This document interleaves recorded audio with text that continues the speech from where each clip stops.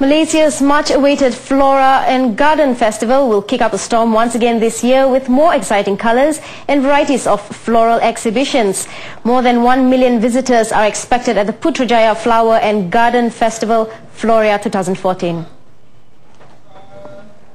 This year, the theme for Floria 2014 is Theme Garden, such as Wedding Garden, City Garden, Design Garden, Fantasy Garden, Futuristic Garden, including Visit Malaysia Garden theme. According to the president of Putrajaya Holdings, Tan Sri Dr. Aseh Che Mat, the gardens were designed specifically to be the main attractions for visitors.